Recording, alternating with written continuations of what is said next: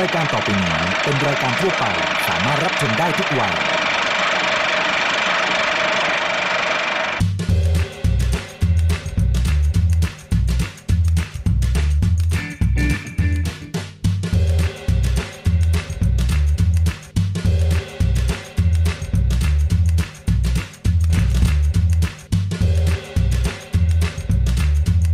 สนับสนุนโดยผลิตภัณฑ์ผลไม้ fruit spread และน้ำเชื่อมแต่งกลิ่นตรา Nature Taste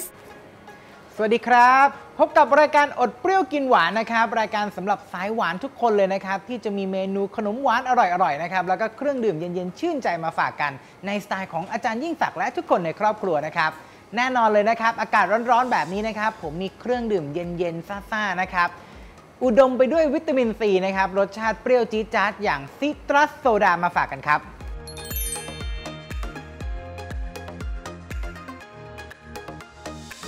ซิตรัสโซดานะครับ เราจะเสิร์ฟในนี่เลยนะฮะ เป็นคล้ายๆ กับขวดโหลแบบนี้เลยนะครับ ดื่มแบบนี้เนี่ยเอาให้จุใจนะครับ อุดมไปด้วยวิตามินซีขั้นตอนแรกนะครับ เราจะใส่น้ำแข็งลงไปก่อนเลยนะครับค่อยๆใส่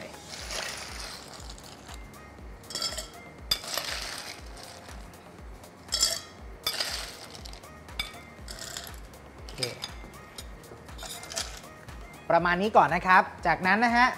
อย่างที่บอกเลยว่าของเราเป็นซิตรัสโซดานะครับซิตรัสก็คือพวกรสเปรี้ยวแล้วก็มีวิตามินซีนะฮะ อันแรกก่อนเลยครับเลมอนนะฮะอ่านเป็นแว่นแบบนี้เลยไปโชว์ด้านข้างเลยนะครับ ตามด้วยนี่เลยครับ ส้มซันคิสนะครับ จากนั้นครับเปรี้ยวแบบไทยๆเราเนี่ยแหละครับมะนาวนะครับหั่นแว่นแบบนี้ ที่จะแน่นๆนะฮะซ้อนสองได้ครับเลมอนเติมน้ำแข็งนิดหนึ่งนะฮะ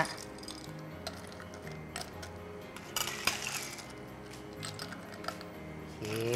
พูนๆแบบนี้เลยนะครับ แค่นี้ก็หอมแล้วนะครับ เราได้กลิ่นแบบเปรี้ยวๆนะครับ จากนั้นครับ ราดด้วยน้ำโซดาเย็นๆแบบนี้เลยครับ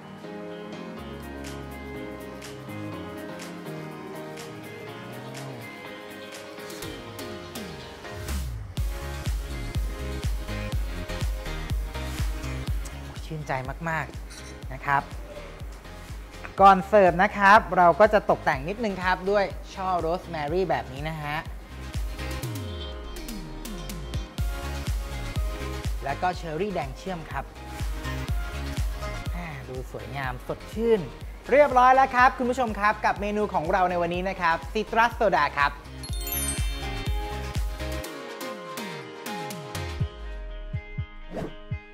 และในช่วงหน้านะครับ อาจารย์ยิ่งศักดิ์เนี่ยมีเมนูขนมหวานอร่อยๆ มาฝากกันจะเป็นเมนูอะไร ไปติดตามชมพร้อม ๆ กันเลยนะครับ อร่อยกับผลิตภัณฑ์ TFM วันนี้เรามีครัวซองมาฝากค่ะ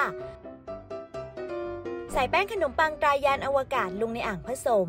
ตามด้วยยีสต์แห้งสำเร็จรูปชนิดจืด น้ำตาลทราย เกลือป่นเสริมไอโอดี และน้ำเย็น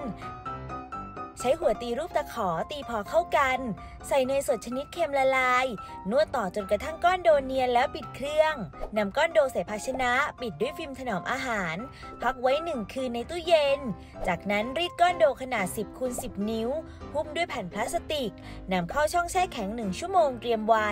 วางเนยเพสตรีลงตรงกลาง ประกบแป้งเข้าหากัน กดขอบแป้งให้สนิท รีดแป้งออกให้ได้ขนาด 50คูณ25เซนติเมตรพับแป้งเป็น4ทบห่อด้วยพลาสติกนำเข้าแช่เย็น 1 ชั่วโมงนำออกมารีดขนาด 50คูณ25 เซนติเมตร พับแป้งเป็น 3 ทบ ห่อด้วยพลาสติกนำเข้าแช่เย็นอีก 1 ชั่วโมง จากนั้นนำออกมารีด ขนาด 50คูณ25 เซนติเมตรอีกครั้ง พับแป้งเป็น 3 ทบ แล้วห่อด้วยพลาสติกนำเข้าแช่เย็น 1 ชั่วโมง ตัดแป้งเป็น 2 ส่วน รีดให้ได้ขนาด 30คูณ20 เซนติเมตรตัดแป้งเป็นทรงสามเหลี่ยม จากนั้นขึ้นรูปเป็นทรงครัวซอง วางเรียงใส่ถาดอบพักจนขึ้นเป็นสองเท่าทานหน้าด้วยไข่ไก่ นำเข้าอบที่อุณหภูมิ 180 องศาเซลเซียส นานประมาณ 15 นาทีจนกระทั่งสุก นำออกจากเตา จัดใส่ภาชนะพร้อมเสิร์ฟ แค่นี้ก็พร้อมเสิร์ฟแล้วค่ะกับเมนู ครัวซอง แค่มีผลิตภัณฑ์ TFM ติดครัว ก็อร่อยกันได้แล้วละค่ะ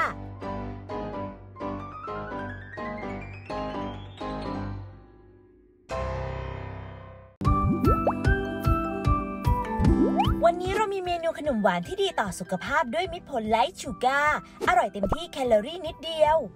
กับเมนูถั่วแปบสูตรนี้มีแคลอรี่จากมิตรผล Light Sugar อยู่ประมาณ 187.5 แคลอรี่ ต่อถั่วแปบทั้งสูตร โดยทั่วไปหากเราปรุงด้วยน้ำตาลปกติ จะมีแคลอรี่จากน้ำตาลอยู่ที่ 375 แคลอรี่ เพียงแค่ปรุงด้วยมิตรผล Light Sugarแคลอรี่จากน้ำตาลก็ลดลงไปถึง